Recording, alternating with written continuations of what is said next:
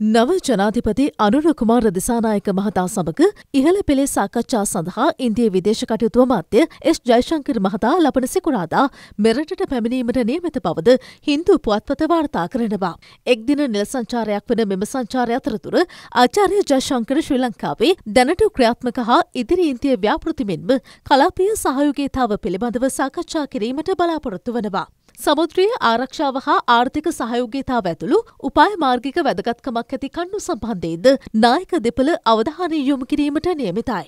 සාම්ප්‍රදායිකව අලුතින් තේරීපත් වූ ශ්‍රී ලාංකික ජනාධිපතිවරයෙක් ඔහුගේ පළමු නිල සංචාරය සිදු කරන්නේ ඉන්දියාවටයි. එහෙත් මෙවර එය වෙනස් වී ඉන්දිය විදේශ අමාත්‍ය ආචාර්ය ජයශංකර් මෙරට පැමිණීම විශේෂත්වයක්. ඉන්දිය විදේශ අමාත්‍යවරයා ජනාධිපති වන්නයට පෙරද නවදිල්ලේදී ජනාධිපති අනුර කුමාර දිසානායක මහතා හමු වුණා.